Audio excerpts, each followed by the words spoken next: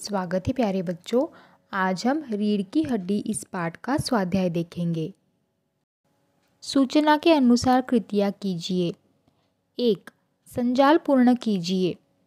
रिश्ते राम स्वरूप उमा, पिता, पुत्री। पति पत्नी राम स्वरूप प्रेमा। नौकर मालिक, रतन राम स्वरूप शंकर, गोपाल प्रसाद, पुत्र, पिता। प्रश्न दो कृति पूर्ण कीजिए। एक, व्यावसायिक शिक्षा के नाम। उत्तर बीएससी एलएलबी दो, शास्त्रीय संगीत में प्रयुक्त वाद्यों के नाम। उत्तर, हारमोनियम, सितार। तीन, गोपाल प्रसाद की दृष्टि में बहु ऐसी हो। उत्तर, ज़्यादा पढ़ी लिखी न हो, पेंटिंग वेंटिंग आती हो, सिलाई की कला जानती हो सितार बाजा बजाना या गाना जानती हो? प्रश्न चार, कारण लिखिए। एक बाप बेटे चौक उठे। उत्तर, क्योंकि उन्होंने उमा की नाक पर रखा हुआ सुनहरी रीम वाला चश्मा देखा। दो, उमा को चश्मा लगा। उत्तर, पिछले महीने में आँख दुखने के कारण उमा को कुछ दिनों के लिए चश्मा लगाना पड़ रहा था। तीन राम स्वरूप ने हारमोनियम उठाकर लाने को कहा। उत्तर, क्योंकि लड़के वालों को खुश करने के लिए उनकी बेटी हारमोनियम बजाने वाली थी। चार, उमा को गुस्सा आया। उत्तर, जब गोपाल प्रसाद रूखी आवाज़ में उमा को अपना मुँह खोलने के लिए कहते हैं। प्रश्न पाँच, सूचनानुसार लिखिए। एक कृदंत बनाइए। पढ़ना, उत्तर, पढ़कर। समझना, उत्तर समझकर. सीना, उत्तर सिलकर. चाहना, उत्तर चाहकर. दो शब्द युग्म पूर्ण कीजिए. पढ़े, लिखे, सभा, समिति. पेंटिंग, वेंटिंग. सीधा, सादा. अगला प्रश्न अभिव्यक्ति पर आधारित है.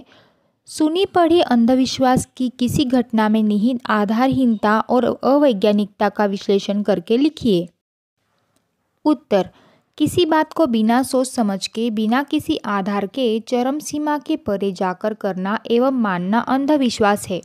अंधविश्वास से संबंधित एक उदाहरण यह भी है कि छींक आने पर रुकना।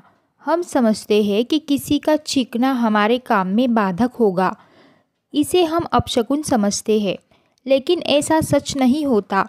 हमें या किसी को भी कभी भी छींक आ सकती है।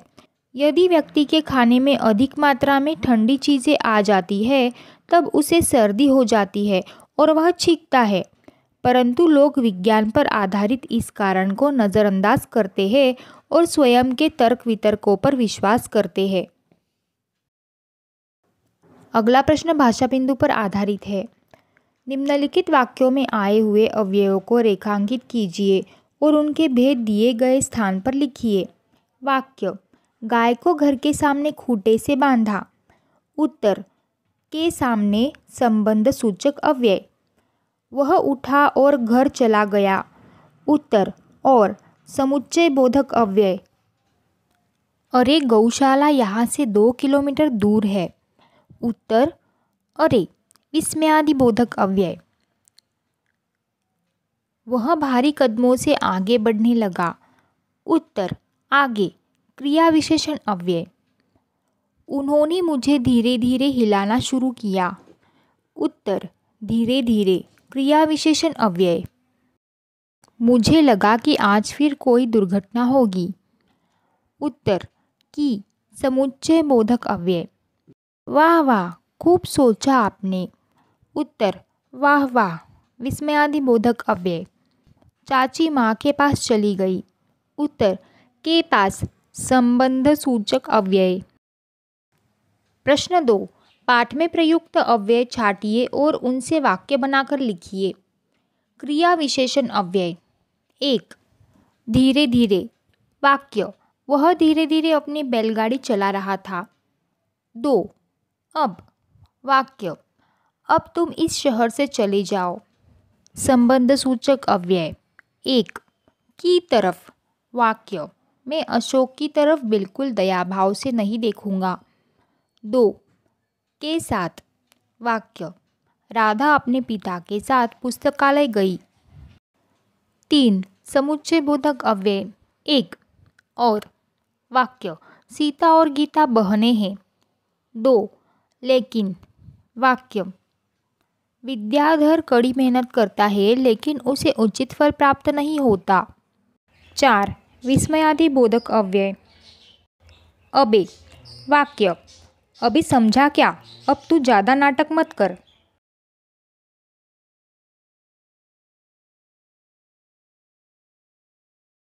प्रश्न तीन, नीचे आकृति में दिए हुए अवयवों के भेद पहचान कर उनका अर्थपूर्ण स्वतंत्र वाक्यों में प्रयोग कीजिए। काश, विस्मयादि बोधक अव्यय। काश तुम हमारे साथ चलते बाद उत्तर संबंध सूचक अव्यय। पता नहीं उसके बाद क्या हुआ, बल्कि समुच्चय बोधक अव्यय। महादेवी सिर्फ़ कवयत्री ही नहीं, बल्कि एक महान रचनाकार भी थी। यदि तो समुच्चय बोधक अव्यय। यदि मेरे साथ नहीं चलोगे तो मुझे बहुत गुस्सा आएगा। वाह!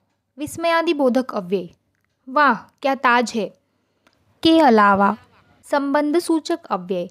परिवार की खुशियों के अलावा मुझे कुछ नहीं चाहिए। के लिए, संबंध सूचक अव्यय। मैं उसके लिए किताब लाई। क्योंकि, समुच्चय बोधक अव्यय। वह दुखी है क्योंकि वह गिर गया। हाय, विस्मयादि बोधक अव्यय। हाय, यह क्या हो गया। प्रायः क्रिया विशेषण अव्यय। प्रायः देखा जाता है कि वह अकेले ही घर से निकलता है। और समुच्चय बोधक अव्यय, राम और श्याम अच्छे दोस्त हैं।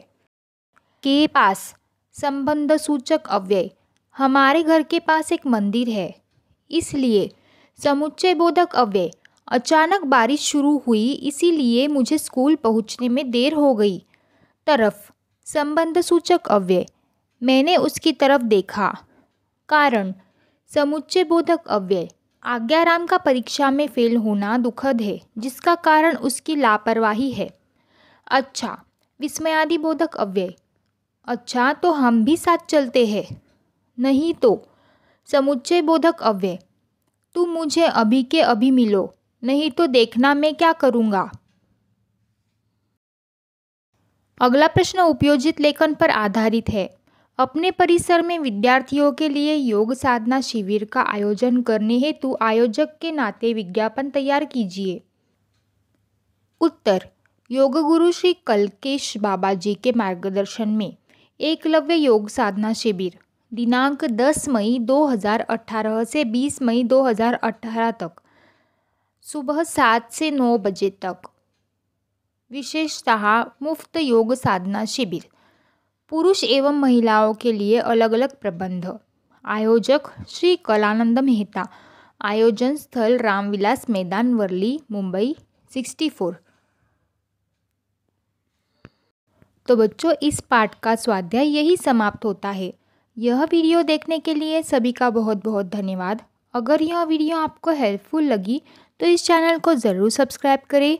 और नई वीडियोस की नोटिफिकेशन पाने के लिए साथ में जो बेल आइकॉन दिया है, उसे प्रेस करना ना भूलें।